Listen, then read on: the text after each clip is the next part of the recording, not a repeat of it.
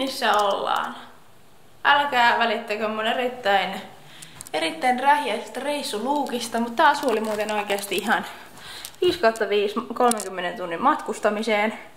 Huppari, parkkutakki ja sitten adulekkarit. Niin ei hiertänyt. Oli jees. Nyt mä vähän virkistäydyn ja puhdistaudun, niin sitten lähdetään kaupungille. Tärkeintä on, että ei saa mennä nukkumaan. Suomessa on siis nyt yö ja täällä on aamu. Pitää sinnitellä iltaan.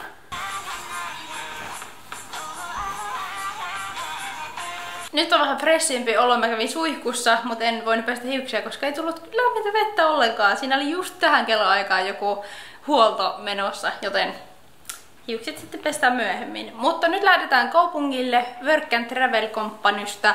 Semmoinen suomalainen harjoittelijatyttö lähtee näyttämään mulle vähän paikkoja ja mennään syömään ja näin. Siellä on aika sateinen keli ollut koko päivä, mutta nyt näyttäisi, että vähän on kirkastunut keli.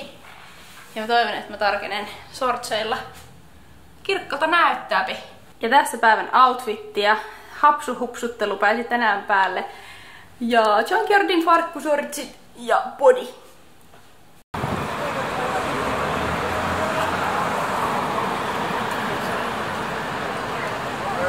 Mä oon oikeasti aivan eksyksissä. Mulla ei ole mitään hajoa missä me ollaan, mutta onneksi täällä on opas Jenna. Mikäs perkule Australian kakadu se täällä menee? Mitä äijä? Eipä tässä.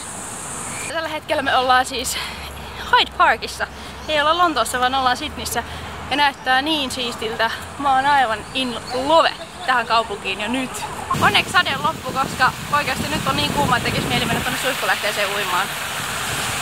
Hikeä pukkaa, mutta pukaatko?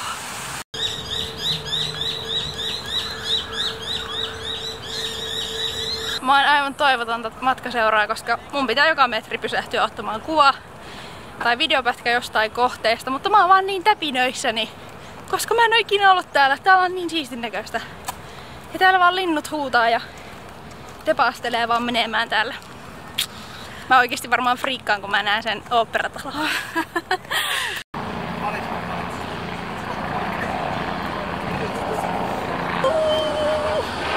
Siinä se kuulkaa jo.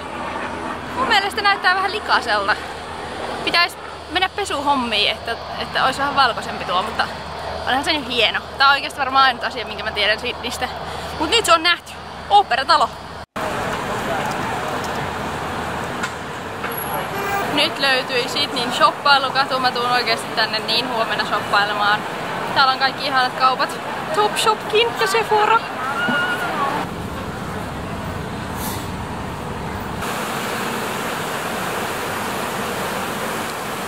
Täällä on turistit evästauolla.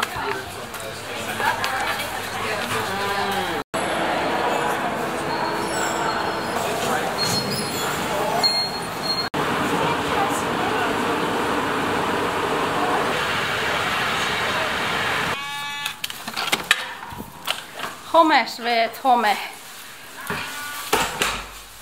Täällä minä istun pienen hostelihuoneeni sängyllä ja fiilis on hyvä. Sydney näytti erittäin mielenkiintoiselta kaupungilta. Jotenkin oli, tuli vähän samoja vipoja kuin San Franciscosta. Ja sitten yhdessä vaiheessa tuli vähän samoja vipoja kuin Losista. Mutta sitten toisaalta täällä on vähän semmoista niin kuin vanhanaikaisen näköistä tuo arkkitehtuuri enemmän. Tää päivä rupeaa olemaan varmaan pulkassa. Mä en tänään mitään erityisaktiviteetteja enää tee, koska tässä nyt on kuitenkin 30 tuntia matkustamista takana. Mutta joo, tää oli nyt tämmönen pieni kulmispätkä täältä Sydneystä. Halusin tulla kertomaan, että kaikki on hyvin ja hengissä ollaan. Ja oikeasti mä oon niin ylpeä itsestäni, että mä selvisin tänne yksin, ihan itse. Oikeasti mulla melkein ilon itku tuli, kun lentokone laskeutui Australian maankamaralle niin pitkän matkan jälkeen. Tähän pätee erittäin hyvin Zoellan käyttämä sanonta She believed she could, so she did. Siis mä en voi käsittää oikeasti, miten pirteänä mä oon täällä edelleen. Suomessa kello on 7.18 aamulla.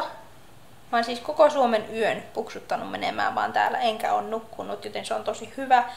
Ja on ollut silleen tosi hyvä fiilis koko päivän. Nyt rupeaa ehkä vähän silleen päätä jo mottaa. Ja rupeaa tulee vähän sellainen fiilis, että nyt voisi niinku mennä nukkumaan, mutta kello on vasta 20 yli neljä täällä. Niin tota, ei ehkä viitti mennä vielä nukkumaan, joten mä ehkä vähän tässä alan editoimaan. Tämmönen päivä tänään. Mulla on huppari sen takia päällä, koska täällä on aika mujova ilmastointi tällä huoneessa. Mut hyvä niin, niin ei läkähdy. Mut kiitos paljon, että katsoitte videon. Jos tykkäsitte, laittakaa peukkoa ylös ja laittakaa peukkoa ylös myös, jos haluatte lisää Australian videoita. Me nähdään ensi videossa. Moi moi!